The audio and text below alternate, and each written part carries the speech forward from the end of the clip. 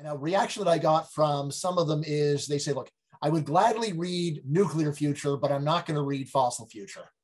Right? What would you say to change their minds? I mean, if that's their view, they really need to read Fossil Future. No, I'm taking that to you, not to them. That wouldn't change. It's a catch twenty two. Like, like you know, look, this person is not your typical critic, right? The person who says, "I'd love to read Nuclear Future. I'm not going to read Fossil Future." This is not the main person that you argue against the book. So this is like you've got right. You got. I would love them person, to read it, but you. But on the other hand, they're not going to open the book until you go and say some words that will get them interested. So, well, say to this so, person?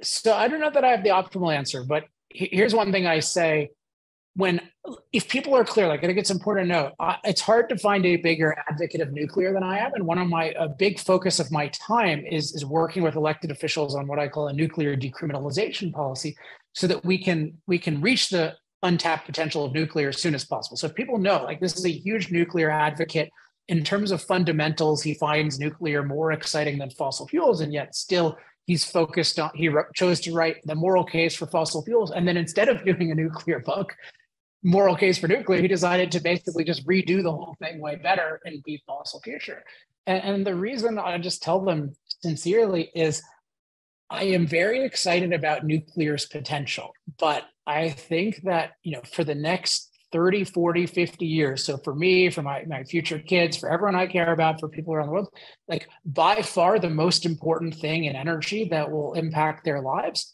is what we do about fossil fuels, because there is no real scenario at all in which we rapidly replace our needed fossil fuel with nuclear in the next few decades. And there, and I could give that argument, but um, nuclear is declining in much of the world. So I just think the fate of the world really depends on fossil fuels. And we are currently trying to eliminate them essentially in the next 27 years. And most of the leading thinkers have been advocating this in one way or another. So I just think there's an existential threat, but also an opportunity uh, involved in how we think about this issue. And I just think that like it's it's great to be excited about future technology, but if you have the technology that makes your world possible that needs to grow and people are trying to eliminate it, like that is the most existential thing. So that's why, as the world's biggest nuclear advocate, I still focus most of my time persuading people to think differently about fossil fuels. And I hope they'll let me send them a signed book.